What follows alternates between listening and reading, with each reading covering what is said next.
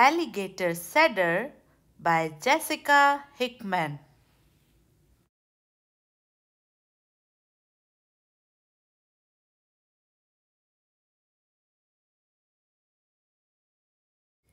Every year in Florida, our favorite sunshine state,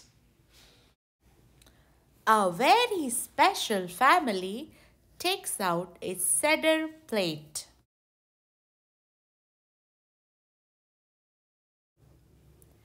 They look for bits of termites. They are good investigators. They are really just like you and me, except they are alligators.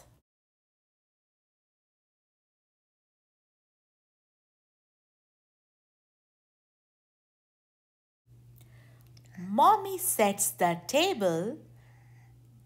Gefilte fish is made. Her cooking is the best in the entire Everglade. Their fellow gator guests arrive and quickly grab a seat. The gators are all hungry and they really love to eat.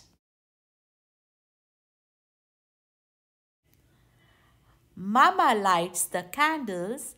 Papa blesses wine. The Seder is beginning, so the gators all recline. It's time for the four questions asked by Baby Gator. Why is this night different from all other nights? Then comes the Passover story, as at every family Seder.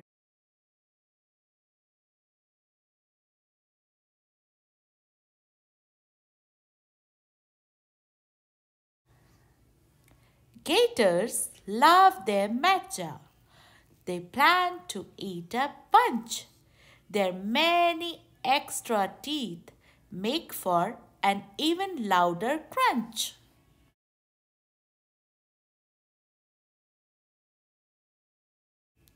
The meal is being served now and the gators start to chomp. The delicious smells of dinner go drifting through the swamp.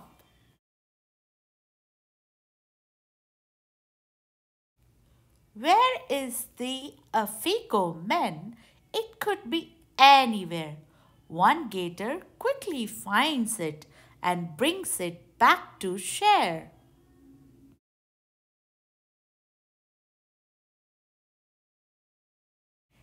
Everyone is going home.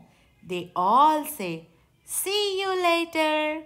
Another year, another splendid alligator Seder.